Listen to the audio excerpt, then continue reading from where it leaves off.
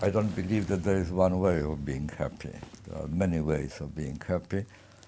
Um, there are two, in this little book about art of life, I wrote that there are two factors, independent factors, relatively independent factors, which uh, shape up human life. One is fate.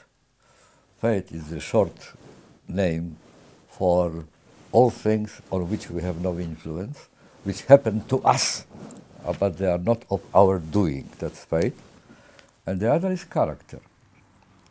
And character is a very individual thing. You can work on your character if you want.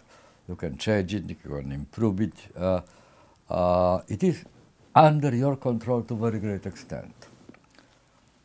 Uh, the role, the division of labor between fate and character is such that uh, the fate sets the range of options which are realistic to you.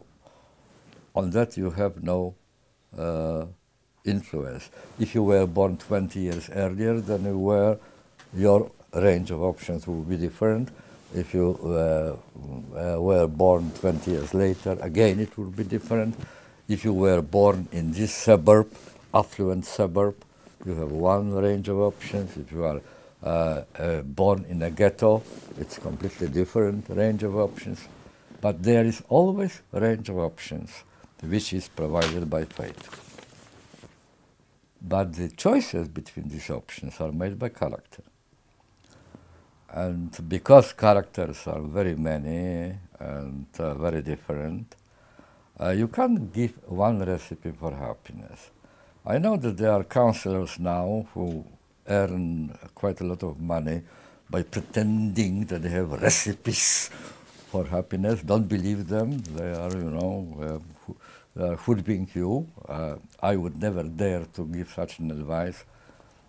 Uh, well, I am not comparing myself with Socrates, but very many philosophers, uh, contemporary philosophers, consider uh, life of Socrates, the, his personality, which he constructed, as the most perfect, relatively perfect, which you can imagine. But what does it mean? Uh, uh, the, that, does it mean that if Socrates' kind of life, which he selected, is the perfect, perfect solution for Socrates anyway, does it mean that we all should imitate Socrates and try to be like him? No. The answer is on the contrary, because precisely Socrates considered a secret of his happiness in that that he on his own, by his own will, created the form of life which he lived. People who imitate somebody else's form of life, somebody else's uh, uh, model of happiness, are not like Socrates. On the contrary, they betray his recipe.